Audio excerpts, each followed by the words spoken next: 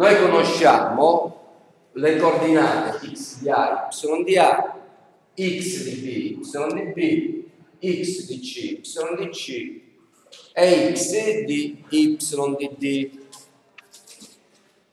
La prima cosa da fare qual è? Tramite, siccome sono coordinate cartesiane, dobbiamo trovarci le polari, no? Ci dobbiamo trovare le distanze e gli azimuth. Questa è la prima cosa da fare. Adesso,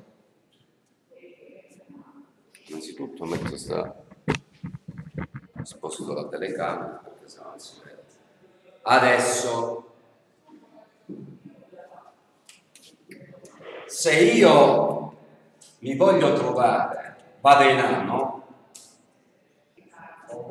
x di A e y di A uguale. Ci pensiamo dei valori, eh. Allora, x di A è negativo e y di A è negativo, vedete? Quindi x di A sarà meno 100 metri, y di A meno 200 metri. Poi b, x di b uguale. Allora, 300, 350 mi sto inventando dei valori, eh? 350 y di b, che sarebbe questo qui, è uguale a, allora questo qua, uguale a 330 metri, negativo, lo vedete? Poi, che cosa c'è? x di d, dove si trova? Questo non è più grande di x di b, secondo me. Allora, se x di b ho messo 350, mettiamo 420. E y di b, no, è più o meno uguale, vedete? Quindi mettiamo 410. Bene. Poi che cosa abbiamo? x di c. x di c, ascoltate, siccome ci stiamo inventando i valori, se questo è 4, facciamo finta che questo è il doppio. 750 si chiama. E y di C, se y di A abbiamo messo meno 200, questo si trova più basso. Lo vedete? Quindi quanto mettiamo? Meno 170. E più, scusate, non meno. Quindi anche y di A è più 200 su. Perché? Y di A, sei bravo. No, no, è più, bravo. Y di A. Vedete se sono tutto a posto, se c'è qualche ne eh, segno negativo che non ho messo. Allora, x di A si trova, è positivo x di A, vedete? Y di A è negativo.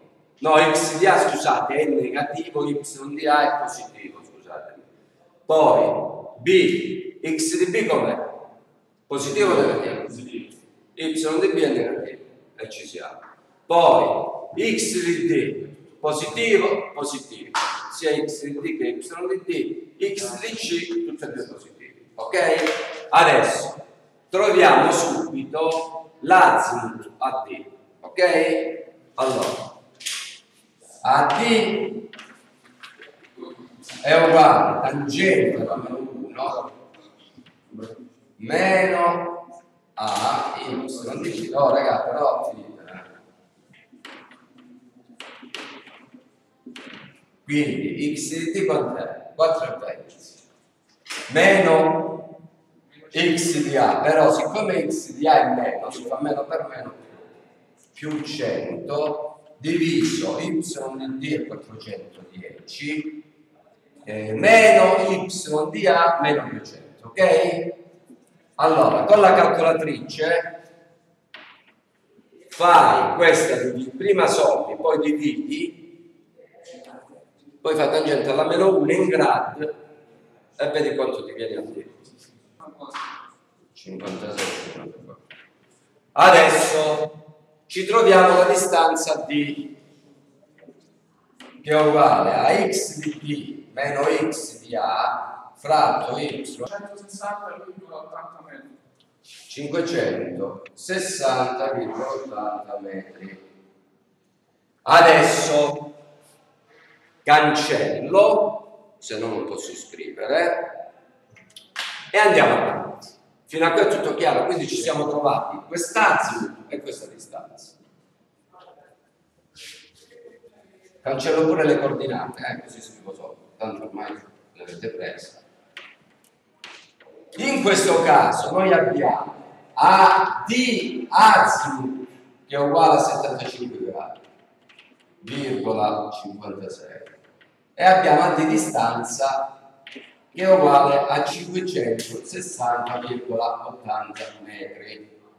Vedete? DA il reciproco. In questo caso, no? DA, se AD è 75 gradi, DA quanto sarà? Dovete fare più 200. O mi sbaglio? Ci siamo, infatti, vedete che si trova al primo, secondo, terzo quadrante. 100, 200, 300, 400. Ricordate. Quindi 100, 200, 275. È chiaro? Oppure, se non siete convinti, fate tangente di DA, x di D, no? Ok. Quindi ai 75 gradi, piccola 56, devo sommare 200, che è uguale a 275,56. Fino a qua ci siamo, quindi ci siamo trovati pure questo. AD addetti a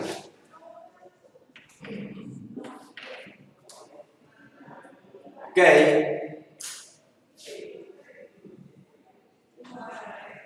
troviamoci l'azimut DC perché si fa questo? perché poi no sottraendo DA meno DC ci siamo trovati dentro è chiaro? Quindi DA è 2,75, DC tangente di DC uguale a x di C meno x di D fratto y di C meno y di D. Adesso io ho cancellato i dati, x di C quant'è? Dimmelo. 750 meno 420 750 meno 400 stai attento se ci sono i negativi meno per meno ok? poi? fratto eh, 150 eh meno 410 meno 400 ma y di d è negativo o è positivo? quindi allora fai tangente alla meno 1 di questo di questa divisione e Vediamo quanto esce.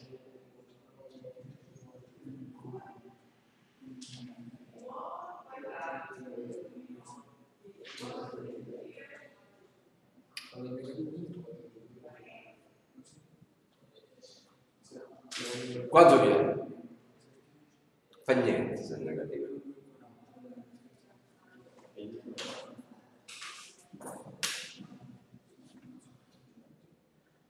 Viene meno 59.96 allora quindi DC è uguale a meno 59,06 adesso. Siccome questo è negativo e siccome il mio DC azimut reale dove si trova? nel secondo quadrante che fate? Meno 59 più 200. A quanto riesce? 140, Eh, infatti, vedete? Quindi più 200 è uguale a 140 0304 e ci siamo. Vi trovate anche la distanza di C che è uguale a x di C meno x di D fratto il seno di BC, me la trovi direttamente? Mi raccomando, i calcoli fatti bene. Eh? 408 0.0 Falla pure tu, vediamo se esce 408 0.04 04 metri. Sì, sì. Ok. Adesso, come dicevo prima, visto che abbiamo questi due azimi, azimum, ci troviamo dentro. Delta è uguale a dA, azimut, meno dC. Quindi dA è 275,56, DC è 140, quanto fa? Questo angolo 135, Ah. 55, quindi 135, virgola, eh, 535. Ok, e ci siamo trovati quest'anno. Adesso si può fare come volete, pure prima trovare tutti gli azimi e poi gli angoli interni, oppure fare azimi, angoli interni, eccetera, eccetera. Adesso andiamo in C. A noi ci serve praticamente innanzitutto se conosciamo DC, no? Conosciamo pure il reciproco. O mi sbaglio? Perché? Perché se l'azimut DC è 140, virgola 0304, devo aggiungere cosa? 200 e mi trovo il reciproco. Quindi più 200 è uguale a 340,0304. Questo è il mio C di reciproco. Ci siamo? Avete visto come si lavora? Quindi questo 340 non è altro che il DC azimut. Adesso, per trovare questo gamma, che dobbiamo fare? Dobbiamo trovare CB. Ok? Quindi CB azimut è uguale a tangente di CB x di B meno x di C fratto y di B meno y di C.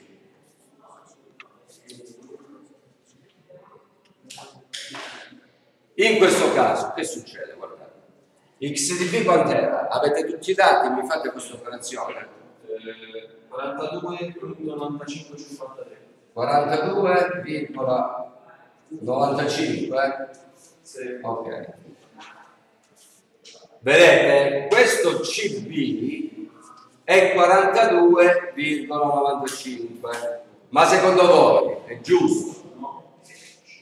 riesce a tutti i 42 e quindi che dobbiamo fare? Che dobbiamo aggiungere per arrivare qui? guardate se è 42 non dobbiamo aggiungere 200 Ci- sì o no? Sì. ma avete capito? perché guardate il reale ascoltate si trova al terzo quadrante quello trovato è di 42 gradi al primo quadrante quindi che devo fare? 42 più 200 e mi esce 242 è chiaro questa cosa? Quindi CB è uguale a 42 virgola- o no? o mi sbaglio? Adesso mi trovo la distanza CB. Quindi x di B meno x di C fratto y e se fratto seno di CB. Quanto viene?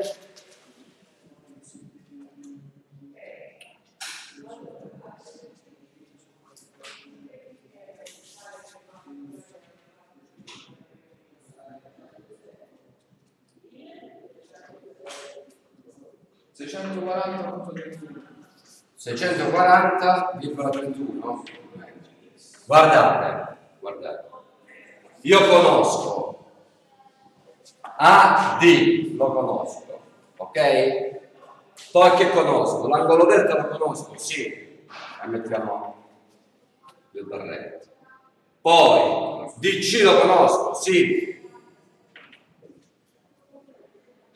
BC lo conosco, sì. L'angolo gamma come si fa? Come si trova l'angolo gamma?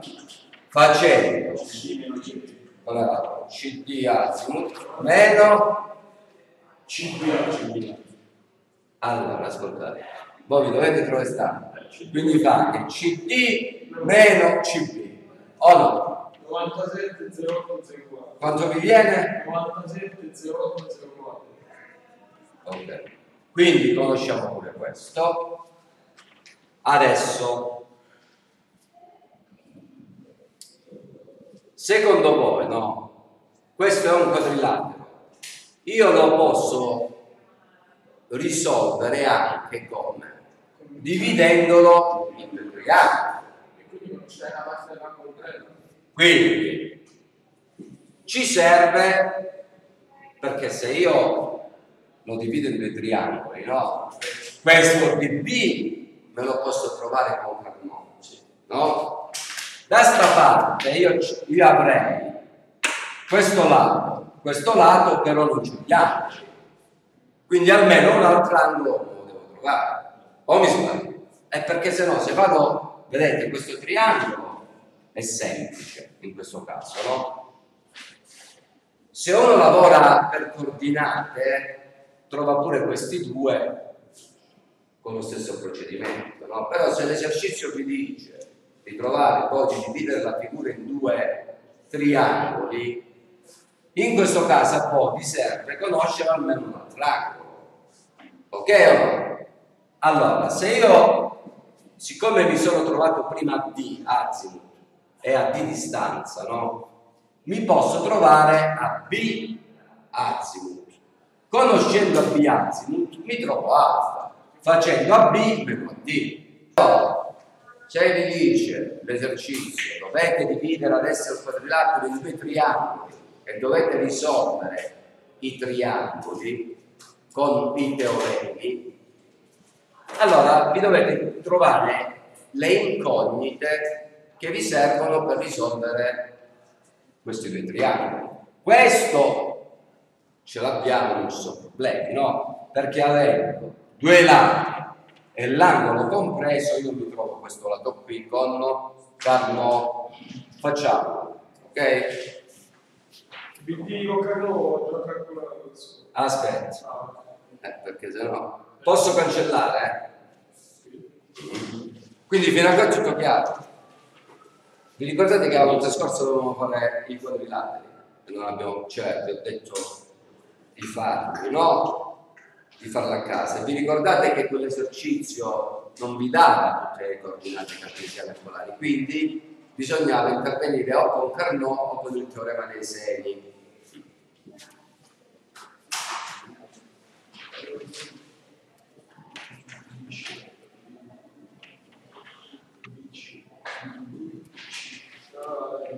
Così ripetiamo pure un po' di triangoli, perché sennò poi è tutto in questo modo.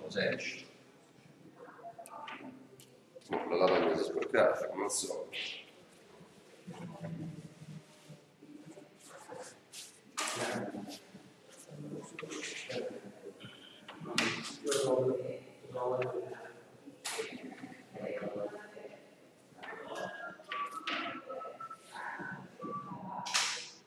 Allora, adesso risolviamo dB con Carnot. dB è uguale alla radice quadrata di cosa? Di BC al quadrato più CD al quadrato meno 2 che moltiplica BC per CD per il coseno di cosa? Di bravo, di gamma. Sostituite i valori a i valori numerici alle lettere TB quanto vi viene? Questa qui 743 38 72 vabbè 28 700,38 43 Ok. Vedete? Adesso io conosco tre lati e cosa? Un angolo. Per trovare beta 1 e gamma 1, che cosa faccio? Teorema dei segni. Allora, se questo è gamma 1, vedete? Eh, scusate, beta 1. No, no. Beta 1. E questo qui è gamma 1. Che faccio? Mi trovo un angolo con il teorema dei segni. Poi facendo 200 meno la somma dei due angoli mi trovo l'altro angolo. Quale vi volete trovare? Gamma 1 o beta 1? Se, eh, delta 1, sì. Sì, ma Sì, delta 1 che mi trovavo, questo qui, perché ho diviso la figura in due triangoli. Che ci vogliamo trovare? Delta 1 Io per uno. È la stessa cosa, troviamo uscita delta 1. Allora, quindi, teorema dei segni, BC sta al seno di delta 1, Ma si può fare al contrario?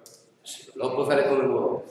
Il teorema dei segni, ve l'ho detto pure la volta scorsa, è più semplice a livello di calcoli, però è la stessa cosa. Li dovete conoscere tutti e due, decidi tu quale fare.